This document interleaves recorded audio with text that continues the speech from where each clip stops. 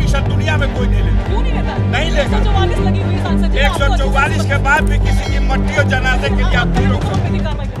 उत्तर प्रदेश के कुख्यात माफिया और बाहुबली नेता मुख्तार अंसारी की बीते गुरुवार को दिल का दौरा पड़ने से मौत हो गई। शनिवार को गाजीपुर में स्थित मुख्तार के पैतृक गाँव में उसका अंतिम संस्कार किया गया।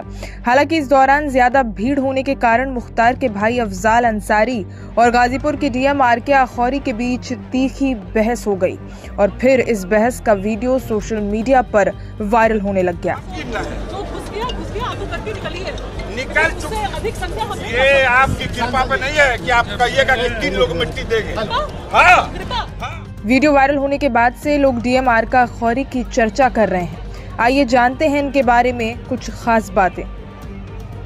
क्यों हुई अफजाल और डीएम के बीच भारी बहस? ये बहस तब हुई जब जिला प्रशासन ने भीड़ को नियंत्रित करने का प्रयास किया और कुछ लोगों को मुख्तार अंसारी की कब्र पर मिट्टी देने के लिए कब्रिस्तान में प्रवेश करने से रोक दिया गया। जिलाधिकारी का कहना था कि ज़िले में धारा 144 लागू होने का हवाला देते हुए पूछा कि क्या इसके लिए कोई अनुमति ली गई है। अफजाल अंसारी ने कहा कि आप किसी को मिट्टी देने से नहीं रोक सकती।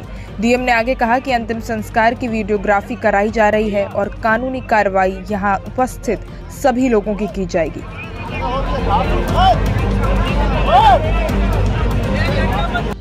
आखिर कौन है आरक्या अखौरी?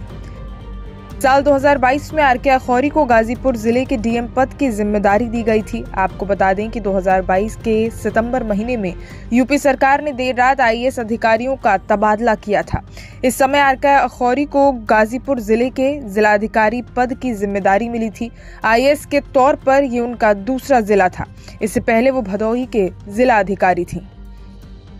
पटना से क्या है आर के आखौरी का ताल्लुक? गाजीपुर की जिलाधिकारी आर के अखौरी मूल रूप से पटना की रहने वाली हैं।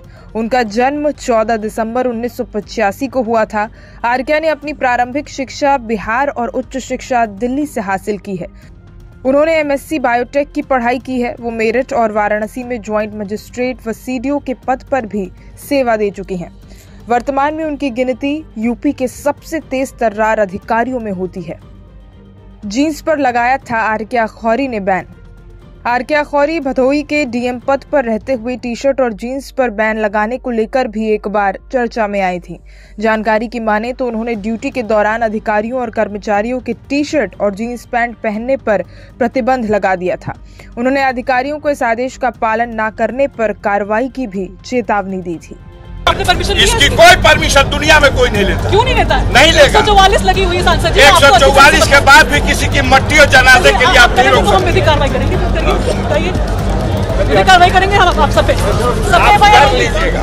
आप कर लीजिएगा लेकिन सबकी वीडियोग्राफी हो रही है सब पे कार्रवाई होगी जो जाएगा। आप आप आप कर लीजिएगा लेकिन मिट्टी देने से मत रोको